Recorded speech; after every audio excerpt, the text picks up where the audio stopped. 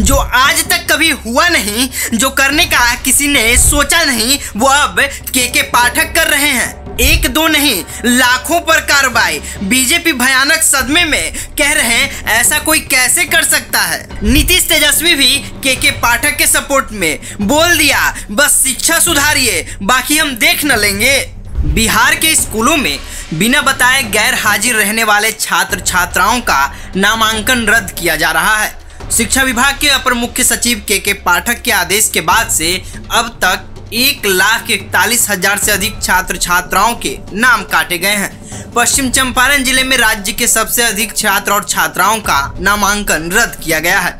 इसे लेकर बीजेपी ने पूछा है कि बच्चों के नाम जोड़ना है या काटना।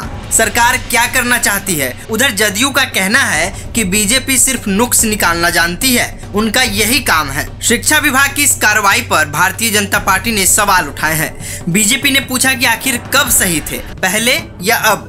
वहीं भाजपा के बयान पर जदयू ने पलटवार किया है। जदयू ने कहा है कि बीजेपी को हर काम में परेशानी है। पार्टी प्रवक्ता अभिषेक झा ने कहा कि बीजेपी निगेटिव पॉलिटिक्स में विश्वास रखती है। सरकार जो काम करती है, उसी में नुक्स निकालते हैं। अभिषेक झा ने कहा कि आई के के पाठक की वजह से जो छात्र और छात्राएँ स्कूल नहीं जाते थे, वह स्कूल पहुँच रहे हैं। शिक्षक भी समय पर स्कूल जाते हैं और समय से निकलते हैं। शिक्षा विभाग में मॉनिटरिंग का काम बेहतरीन तरीके से चल रहा है। इसमें भी भारतीय जनता पार्टी को दिक्कत है। स्कूली बच्चों की स्कूल में गैर हाजिर रहने पर नाम काटे जाने का सिलसिला जारी है। सरकार ने क्लास एक से बारहवीं तक तकरीबन एक लाख पचास हज़ार छात्रों का नामांकन रद्द कर दिया है। शिक्षा विभाग से मिली जानकारी के मुताबिक सरकारी स्कूलों में 15 सितंबर तक एक लाख इकतालीस हज़ार चार सौ पचासी छात्र छात्राओं का नामांकन रद्द किया जा चुका है। दरअसल बिना सूचना दिए लगातार पंद्रह दिनों तक स्कूल नहीं आने वाले छात्र छात्राओं के खिलाफ यह कार्रवाई की जा रही है। बिहार के पश्चिम चंपारण में सबसे अधिक नामांकन रद्द हुए हैं।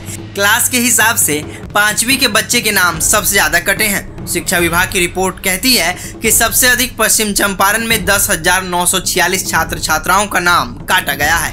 एक दिन, यानी 15 सितंबर को बिहार के विभिन्न जिलों में पच्चीस हज़ार चार सौ तेईस स्टूडेंट्स के नामांकन रद्द किए गए हैं।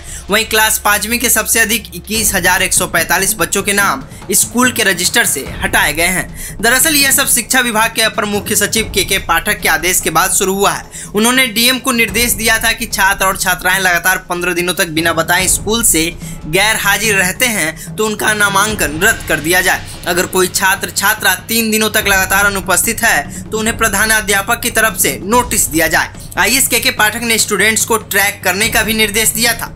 निर्देश में कहा गया था कि चेक करें। कि किस बच्चे का नाम एक ही साथ दो विद्यालयों में है? ऐसे छात्र किसी निजी विद्यालय में नियमित रूप से जाते हैं, पर सरकार की योजनाओं की राशि प्राप्त करने के लिए वह सरकारी विद्यालयों में भी दाखिला लिए हुए हैं। ज़िले को लिखे गए चिट्ठी में यह भी कहा गया है कि कुछ स्टूडेंट्स तो राज्य के बाहर भी रह रहे हैं, जबकि उनका दाखिला बिहार के सरकारी स्कूलों में है।